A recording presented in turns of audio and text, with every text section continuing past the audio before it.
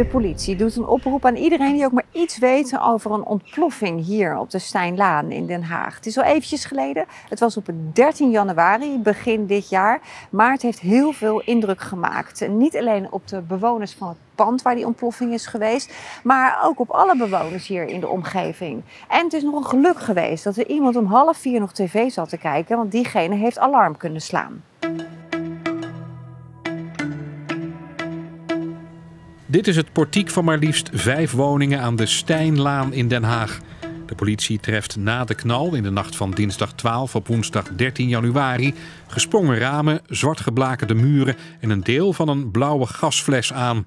Agenten ruiken een enorme vuurwerklucht en verspreid over het hele portiek liggen splinters van de gasfles. Ook wordt er een kartonnen deel van een Cobra 6 aangetroffen. Waarom dit zware vuurwerk hier bij dit portiek tot ontploffing is gebracht, is een raadsel. De schade is in ieder geval enorm.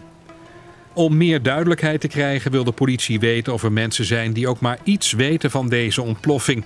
Als dat zo is, neem dan contact op. Dit kan op 0800 60 70, maar als u liever anoniem blijft, dan is er Meld Misdaad Anoniem op 0800 7000.